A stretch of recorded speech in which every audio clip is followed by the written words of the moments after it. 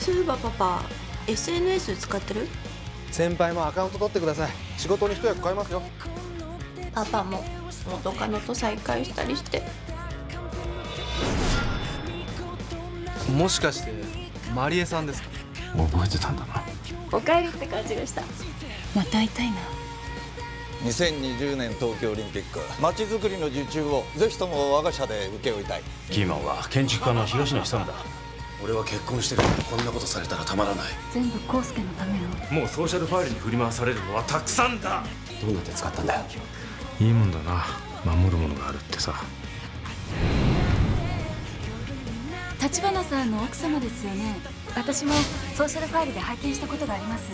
趣味がよく似てるなって。嬉しい。特に男性の趣味が